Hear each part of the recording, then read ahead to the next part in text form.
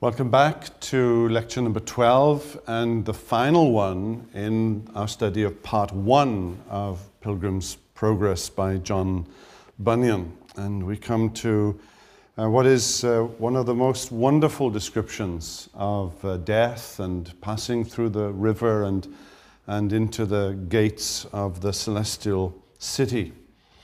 Uh, we were in the Delectable Mountains in our previous uh, study, and you remember, among other things, Christian and Hopeful were uh, taken to uh, a mountain uh, ridge called Clear, and then with the aid of a perspective glass, a telescope, if you will, they could see Beulah land, and beyond it, they could see something like the gates of the city uh, and uh, some of the glory of the place. So they've been given a little anticipation uh, of heaven. Actually, in the allegory, that I think was something that uh, Christians see on the Lord's Day and in the ministry of the Word. I think that's what Bunyan was trying to say. Now, before they get to uh, the glory of uh, the celestial city, Hopeful and Christian pass through a place called Enchanted Ground. Uh, this is a place uh, where they are not allowed to fall asleep. If they fall asleep, terrible things are going to happen to them. So they must stay awake. And uh, there's a description of just how close they get to falling asleep. But once again, it's perseverance. Once again, it's the lesson that right up to the end, you can expect opposition and trial and difficulty. They pass through uh, enchanted ground and they come to Beulah land, uh, where the air is very pleasant in contrast to enchanted ground. Uh, and birds sing and flowers bloom, and the voice uh, of the turtle dove uh, is heard in the land, and the sun is always shining, and the land is full uh, of wonderful things. And most significantly, Beulah land is beyond the reach of villains like giant despair or the monsters that lurk in the valley of the shadow of death. Uh, they're also within sight now of the city where they are going, and uh, they, they uh, greet uh, others there, the inhabitants of the country, uh, and shining ones who walk here because it's right next to the border of heaven. And these are shining ones who will actually, angels, uh, who, will, who will escort them now to uh, the gates of the celestial city. They meet a gardener who tells them that the beautiful vineyards and the gardens are the king's and are planted there for the enjoyment and for the comfort of the pilgrims. They refresh themselves with delicacies, food, once again. Bunyan loved food, and his description of it is, uh, is wonderful in the course of the tale of Pilgrim's progress. Uh, and uh, they are allowed finally to get some sleep. And when they awake, they go straightway to the city, and on their way, they meet these two shining ones who accompany them. Christian and Hopeful ask these men to travel with them, and they're willing uh, to go. And they state that their goal must be obtained by their own faith. Uh, they escort them, but it's their own faith that will get them to the celestial city. Uh, Bunyan is again emphasizing uh, justification by faith alone, in Christ alone, and not through the help of any other intermediary. Uh, they go on until they're within sight of the gate, and before them is a river. And there's no bridge over it, and the river appears to be uh, deep, and the pilgrims are astounded, and they're told, you must go through or you can't arrive at the gate. Pilgrims ask if there's another way, but they're told uh, that only two men have entered the city without going through the river. Nor shall there be until the last tr- trumpet shall sound. Uh, those two men, of course, are Enoch uh, and Elijah, uh, who didn't experience death. The river, of course, is an allegory here, is allegorically a representation of death. Uh, and then these pilgrims, especially Christian, um, begin uh, to despair. Uh, and they ask if the river is always the same depth, and they're told, no, it isn't. Uh, but they're denied any further help in the matter. Christian begins to enter uh, into the water and he begins to sink. And he cries out to Hopeful, I'm sinking, he says, in deep waters. The breakers go over my head. All the waves go over me, quoting from uh, a psalm. And uh, Hopeful responds, uh, Be of good cheer, my brother. I feel the bottom and it is good.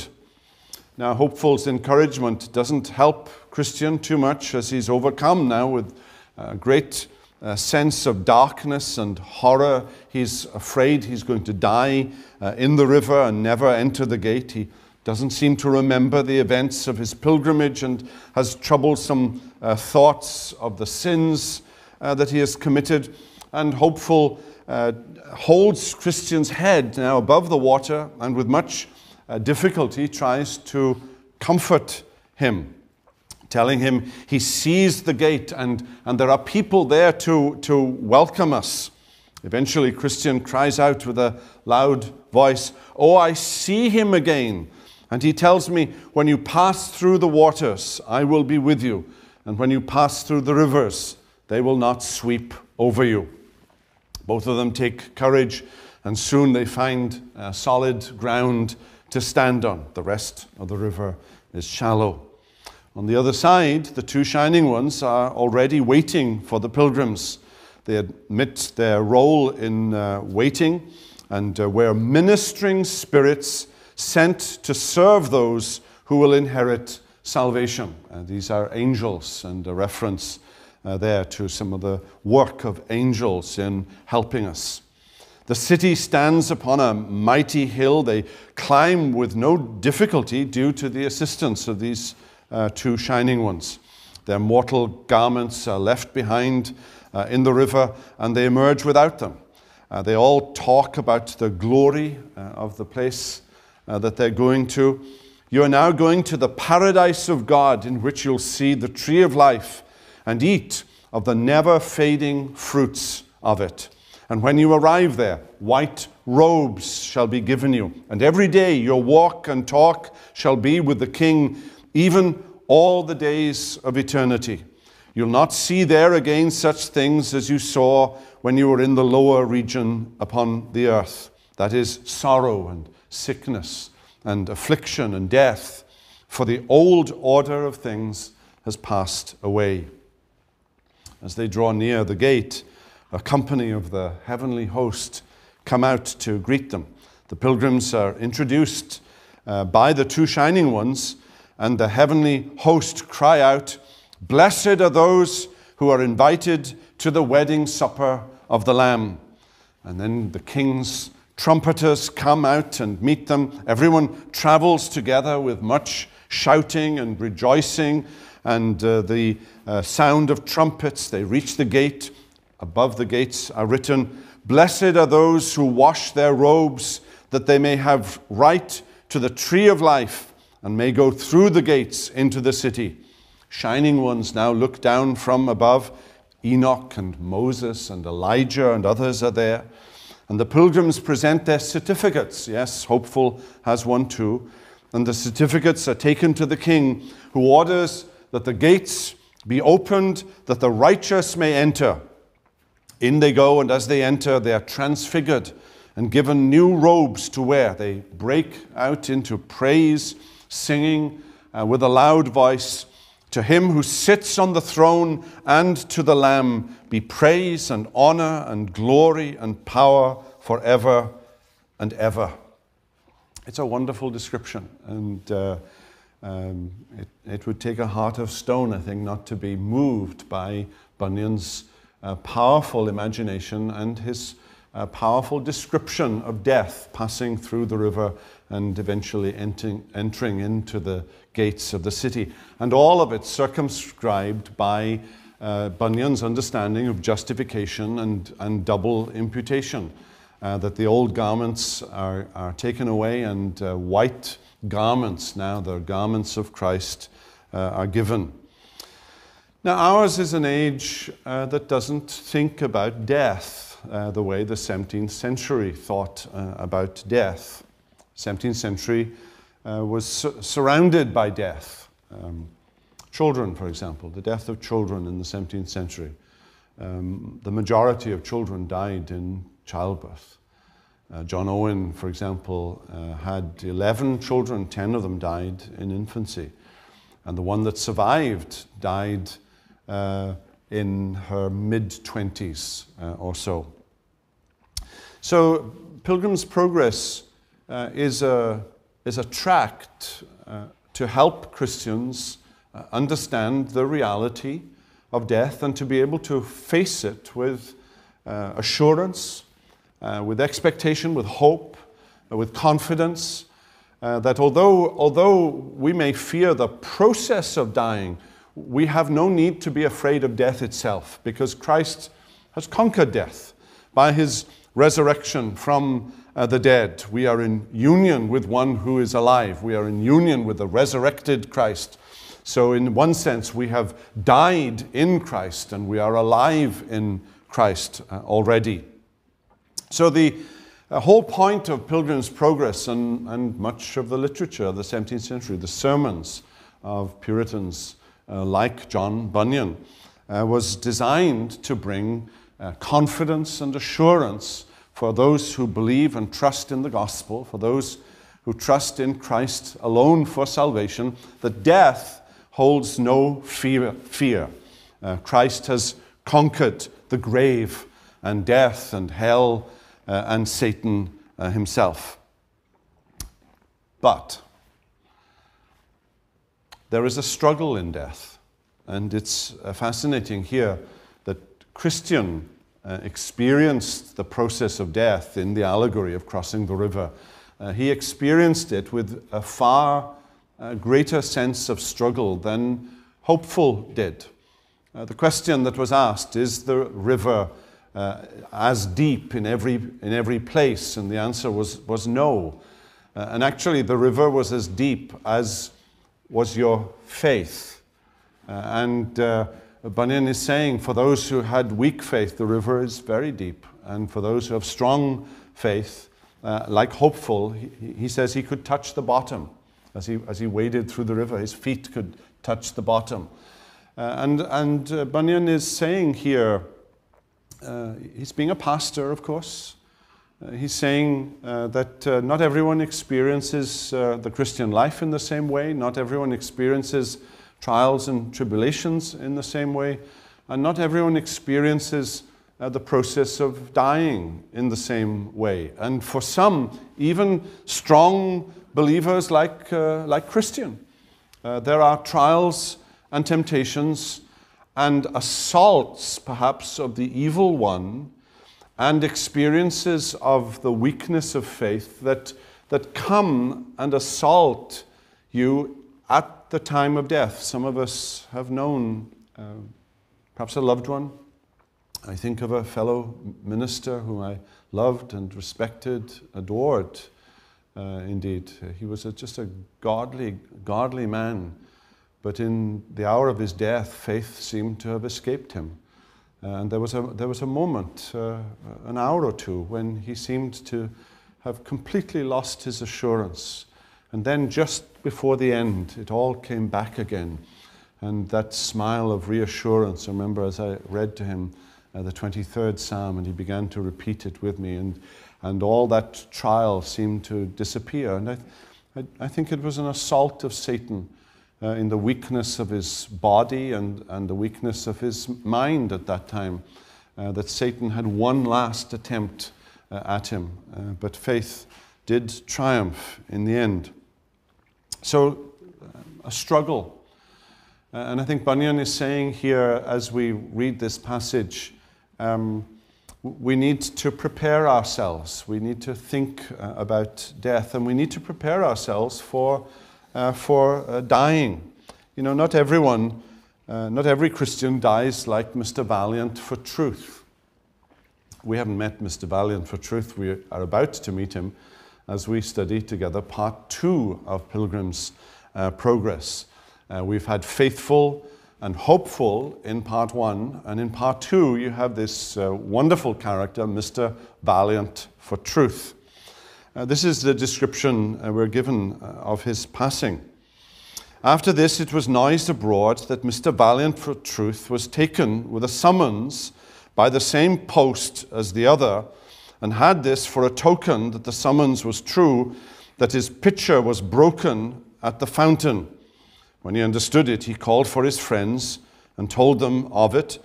They said, uh, Then said he, I am going to my father's and though with great difficulty I am got hither, yet now I do not repent me of all the trouble I have been at to arrive where I am.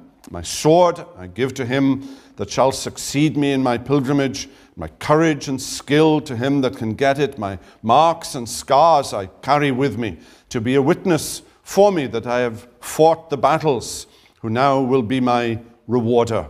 When the day that he must go hence was come, Many accompanied him to the riverside, into which, as he went, he said, Death, where is thy sting?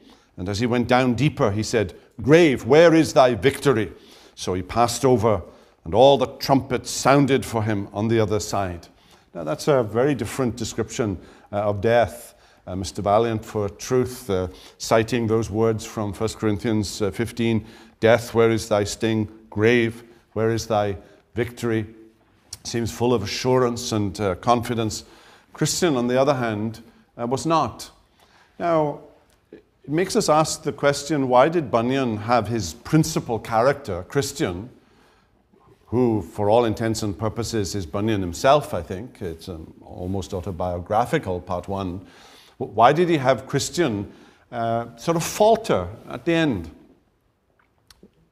What a wonderful thing to put in the book that uh, imagine if Christian had been Mr. Valiant for truth.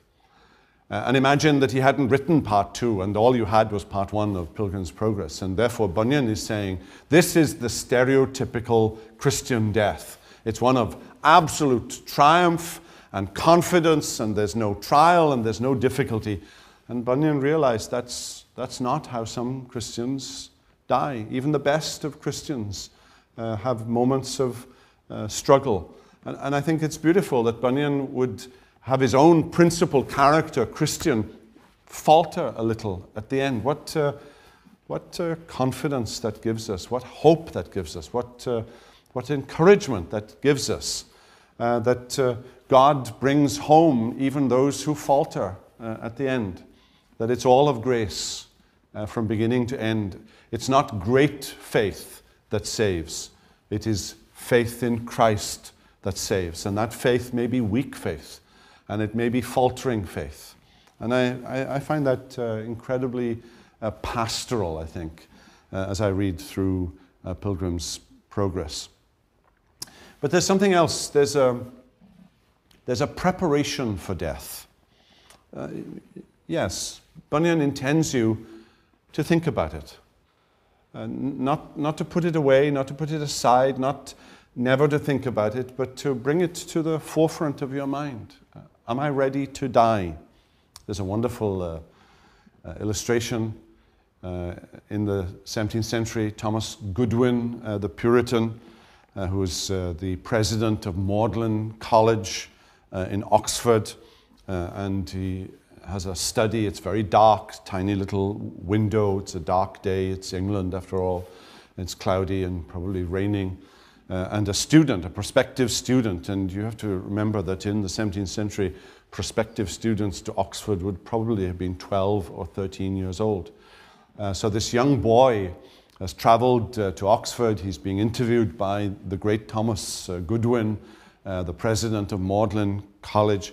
He enters into this dark room, and from behind a desk, he hears these words Are you ready to die? And he flees in terror uh, thinking that his life is about to be ended. And uh, of course, Thomas Goodwin was doing what Puritan pastors often did. Are you, are you ready to meet Jesus? Are you, are you converted? Are you saved? Are you in a right relationship with uh, Christ? Are you regenerate? Have you tasted of the good things of the, of the world to come? Uh, but that was the kind of question uh, that Puritan pastors uh, often asked. Uh, Bunyan, in another uh, one of his writings, uh, puts it like this Consider thou must die but once. I mean, as to this world. For if Thou, when thou goest hence, dost not die well, thou canst not come back and die better. Isn't that an interesting thing? Uh, Bunyan is saying, uh, you know, we only have one attempt at death, and uh, we, need, we need to die well because we can't come back and do it all over again. We can't uh, press the re record button uh, and uh, have another go at it. which for Bunyan meant, um, you know, age expectancy in the 17th century. very few people made it past 25 or 30 years of age. Most of the Puritan preachers died in their, in their 50s or early 60s. Very few of them made it uh, into what we now regard as uh, pensionable uh, age. Uh, so they're exhorting uh, one another as Christians to die um, well. Uh, and I remember reading in the biography of Dr. Martyn Lloyd-Jones, for example, how, as a doctor facing cancer, how uh, that was one of his great concerns. Uh, he talks about it with, uh, with great sincerity and earnestness, that he wanted to die well. But then something quite unexpected happens right at the end of Book One of uh, Bunyan's Pilgrim's Progress. Uh, they're gazing upon these things, and uh, I turned my head to look back. This is Christian and hopeful now from within the city. And they looked back and they saw ignorance coming up to the riverside. But as soon as he got over, and that without half the difficulty uh, the other two men met with, for it happened that there was then in that place one vain hope, a ferryman, that with his boat helped him over. So he, as the other I saw, did ascend the hill to come up to the gate, only he came alone. Neither did any man meet him with the least encouragement. When he was come up to the gate, he looked up to the writing that was above and then began to knock, supposing that entrance should have been given to him. But he was asked by the men that looked over the top of the gate, Whence come thou? And what would you have?